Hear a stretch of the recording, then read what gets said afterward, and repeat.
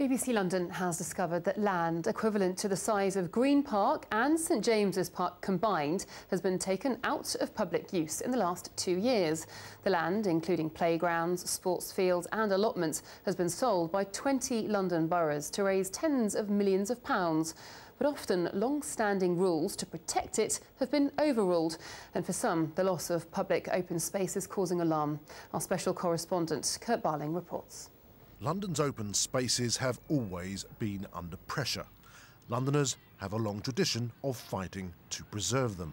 You put more children into a school, you're going to get more people driving. In Wimbledon, a plan to build on part of a recreation ground has met determined opposition because locals say it contravenes planning policy. I cannot understand how it can be breached with a decision of this sort. Um, and nor do I think um, there are exceptional circumstances yet proved, um, and I don't think they exist, that this is the only alternative. Merton councils say an obligation to meet rising school numbers means tough choices have to be made, including sometimes changes to open spaces. We got a 50 year old pavilion where the loos don't work, uh, where the fabric is falling down. We're going to provide a community hall and we're going to provide decent classrooms for 200 local children um, and it's cheaper than building a new school. As a result of this expansion, there'll be less buildings on this park than there are now. That's less square metres of building.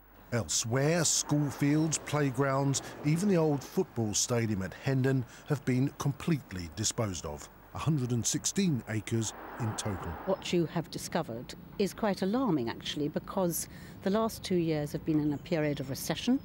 We, in our own work, have seen developers, who after all are the people who buy these pieces of land, are very much quieter in their activity at the moment. What these figures show us is that in just over two years, 69 plots of public land have been sold off by 20 London boroughs, raising a total of 70 million pounds.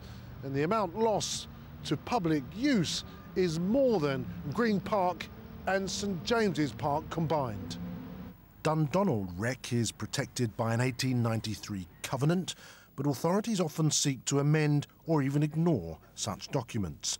Local residents dispute the argument that no less public space will be available and question whether the plan is in the public interest. When they're talking about building an open space in their core planning strategy, they're saying they don't do it. It's against their core planning strategy.